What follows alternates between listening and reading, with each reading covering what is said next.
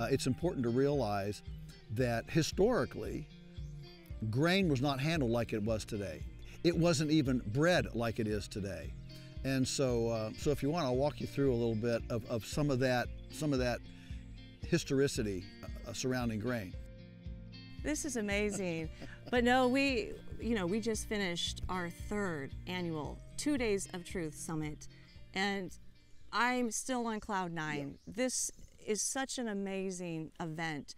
Each year, it has gotten better. We keep improving upon it, and it has this connectivity feel to it, right? We're not just coming to listen to information from people. We're bonding, we're connecting, we're feeling like family, right? Lifting each other up, encouraging, supporting. I feel charged. I feel like my oh. battery has just been charged. Oh, oh, no, no question. Uh, lots of good memories, lots of good energy, and um, yeah, it's been it's been just fabulous. Uh, yeah, you know, content is is part of it, but man, just the fellowship and and knowing that you know you're not alone because it gets lonely out there when you buck the system. That's it right. sure does, and we all need, you know, we need that that. Um, um, whatever, a, you know, uh, A, A, A, A for misfits. Yeah. I love it. I love it. Yeah. You know, one of my favorite moments was your talk. Mm. When you walked us through the history of how grain has become become so prevalent in our culture and so prized and cherished. And this really strikes a chord with me because there's so many of us that are now grain free, right? That mm-hmm. we had health issues right. and right. we've teased it down. We're having problems with either digesting, absorbing, assimilating the grain into our bodies. And so we've had to remove it. We have a record high number of people with celiac disease, gluten sensitivity, mm-hmm. gluten intolerance.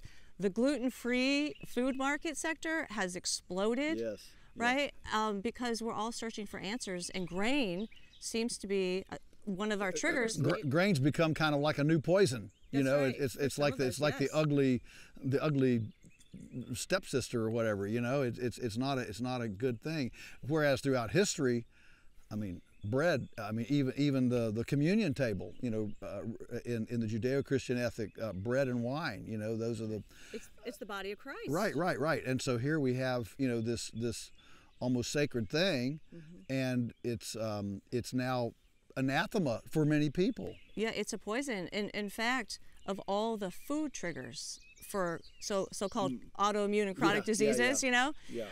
for all the food triggers, grain is the number one trigger for right. for disease. Right. So so um, you know I think I think uh, as, as, we drill down on that, uh, it's important to realize that historically, grain was not handled like it was today. It wasn't even bred like it is today. And so uh, so if you want, I'll walk you through a little bit of, of some of that some of that historicity uh, surrounding grain. I would love it. Enlighten us. Grain has always been the holy grail because it was it was hard to produce. In order to grow grain, you, you got to get rid of the sod. You know, you got to you got to get rid of the grass somehow, okay, or the trees or whatever. You got to make an open seed bed because grain doesn't just grow naturally. You know, you don't just drive down the road and and see and see a, a, a barley field and assume, oh, oh, okay, I guess barley just wanted to grow there. You know, no, you know, somebody had to do it. Well, historically, that was always done, obviously, with a sharp stick, you know, um, to, stir, to, to, stir, to, to, uh, to till up the, the ground uh, behind an ox or a, you know, a mule or a horse or something. And, and then when you got things stirred up enough, uh, then you could go, you know, fling it on the ground, plant it, kind of drag something over to cover it a little bit. You had to keep the weeds out of it. And then to harvest it, you took a scythe, you know, it looks like skithy when you write it, but it's S C Y T H E, a scythe, you know. And you you scythed it down, you cut it, and then you you took it. So you know, so this this grain would be you know yay high. You cut it and you put it in a in a bundle called a shock. And you shock it, and the grain's now up on top. And the reason for that was to, to get the grain dry, uh, to actually dry it down, get it off the plant and actually dry it down. And then, um, and then after it sat there a couple weeks, then you could take it to a, um, you know, a hard floor, pound it, thresh it. That's threshing. Pound it, you know, beat it. Um, and or, or you know with a flail, flail it. I mean, these are all old words, you know, that, that are in our English lexicon. And uh, you know, we say flailing away. Well, that's a flail flailing the, the, the grain, all right. And then you winnowed it, you threw it up in the, in the air because the flailing um, separated the husk from the from the seed, from the actual grain, you know, kernel. Uh, you know, kind of like you know, like taking the um, you know, taking the pecan shell off, and you get the you get the pecan inside that you can eat. You you got to get the shell off, and um, and then, then you throw it up in the air. You know, you had a breezeway, and the, the, the wind would you know blow off the the chaff. That was always real light. You know, leaves and little husks and stuff like that. And then the grain would heavy grain would fall to the ground. And at the end of the day, you know, you you scoop up this grain. You now what are you going to do with it? How do you keep the rats out of it, the mice out of it? How do you preserve it? in a day before you know before sheet metal and and Butler buildings and all this stuff. Well, you know you um, you put it in a you put it in a, in a big clay pot, and um, and then a lot of military might in ancient civilizations was used to to guard you know nobility's big clay pots. I mean these things were 12 feet tall, eight feet in diameter, you know massive big pots to store it in to keep the mice out of it and then um, and then you know of course you'd eat it. Well, the, what what that did, a it made grain very expensive, very expensive throughout history. Uh, Thomas Jefferson's farm book, for example, even in you know 1820, um, uh, his farm book has has the various um, values of different commodities: beef, chicken, barley, wheat, corn. You know. and and if you look at those ratios today, um, you know wheat instead of being you know 550 a bushel today it would be about you know $50 a bushel. That fundamentally changes the value of omnivores because omnivores can't just eat grass like cows. You know the beauty the, the reason that the foundation of all ancient civilizations their nutrition was either herbivores or seafood was because those were the two things that were nutrient dense that you could eat without tillage because tillage was laborious. You know, you're sitting with a stick behind an ox all day, right? And and so you know if you if you were able to you know scratch out a goodness you know a a thousand feet by you know 30 feet field, that was a pretty good sized field, right? And so um, the other thing that happened here was that the um, that, that during the two week drying period in the shock, the sun would come out and dry down in a day, but in the evening the sun would go down and the dew would come up. And and so th- then the then the grain would you know get a little bit of moisture, and it would ferment a little bit. Then the sun would come out, dry it down, and then it would same thing. And this this happened over and over again. So literally, until completely mechanized harvest and natural gas drying and all that that we do today, until that time, no grain was ever eaten on the entire planet without growing through some fermentation. Wow. And I mean, and stark contrast from what we have today. Sure. Right? How many people actually eat fermented grains right. today? Or right. even think about that. It's right. not even in our normal vocabulary. Right. And that's why, you know, like Weston A. Price Foundation, that's why a lot of the whatever, you know, the gluten gurus mm-hmm. uh, are all about, you know, fermented. Mm-hmm um, because because this changes the enzymes, it releases, it makes them more digestible. You know, lots of things happen in a, in a gentle fermentation process. And so in the you know in the development, of course, in 1837, Cyrus McCormick invented the reaper, which was a which was a mechanical knife that got rid of the scythe. Who what a I mean that's the official beginning of the Industrial Revolution, is is, is the reaper then so, so, that that that eliminated the scythe so you could harvest it a lot easier but you still had to go into shock and all that stuff and so after it dried then you, then eventually they got threshing machines you know by the late 1800s we had threshing machines and those were great big you know uh, things that you you you you pushed your shock in and it would you know uh, shake shake, rattle, and roll, you know, and had big fans in it to blow out the chaff. And, uh, and, and you'd end up with grain in a, in a bin. It, it separated the, the grain from everything else, the leaves, the stem, the, all that.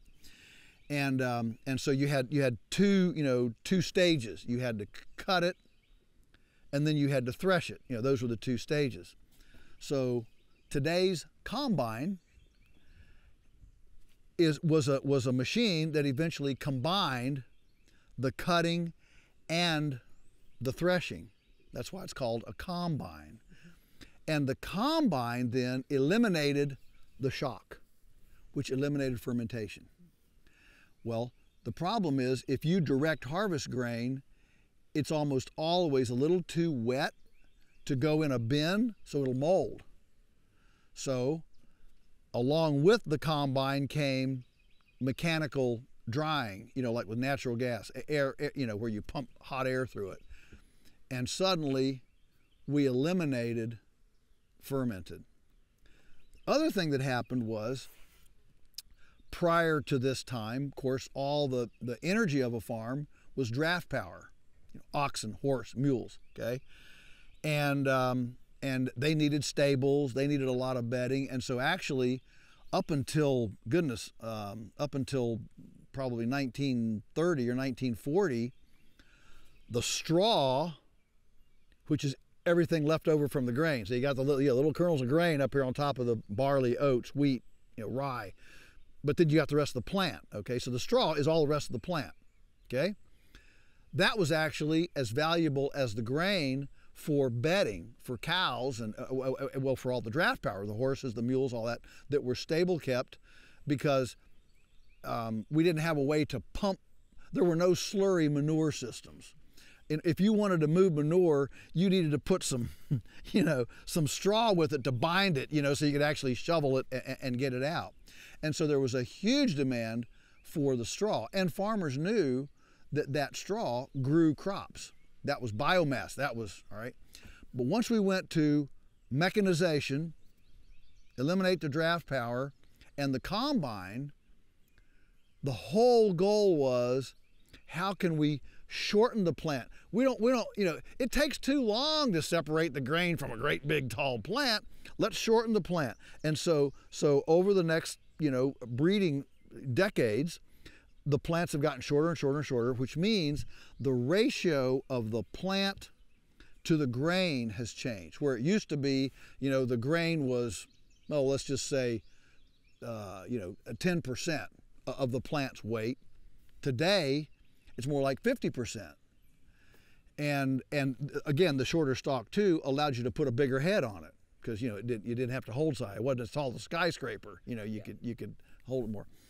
And, and so all these things, uh, I, I, know the book, uh, for example, Wheat Belly. If you've ever read the book Wheat Belly, um, he goes into great detail about this shortening and the ratio of, of the plant to, to the, the leaves. leaves and yeah, because the thought is that it changed the gluten content. Yes. In in that grain, right? In the part that we eat. Right. Which right. It, it, it increased the content of the gluten, which they're theorizing is maybe one of the reasons why we're getting triggered by it more because yes. of the amount of grains that we eat in the standard American diet, right? It's well, everywhere. Yeah. And and, and, and, and the other thing that all that all this quote what, quote unquote grain efficiency did it lowered the cost of grain. So the first time in human history, grain was cheap. That has never happened in human history before, where grain is cheap. Well, now suddenly everybody could eat it. You know, bread wasn't a special communion. Bread wasn't a special thing. Um, and and and our you you probably know this way more than I, I don't know, but the the, um, the amount of grain consumed in crackers and and and, and bread exponentially went up from like 19 whatever 70 yes. through 2000 that 30 year period and of course that's also the period 1979 when the uh, our dear friends at the um, uh, USDA gave us the food pyramid yes. for the first time and put cereals on the foundational bottom. So everybody's okay let's you know it's cheap it's carbohydrate you know it's accessible let's eat this. And so the combination of no fer- no fermentation a change in the in the ratio of the plant to the to the production and simply the the exponential increase in the volume of intake. You, you get those three each one of them is a strike you yeah. put them all together and and you've got something that's as you know historically you know the holy grail of civilization was grain production. I mean that that was when we could actually settle down and and you know and build cities and and all that. Um, the, the here the foundation of civilization has now become I don't know a poison, a, a you know a, a suspect a suspect uh, partner.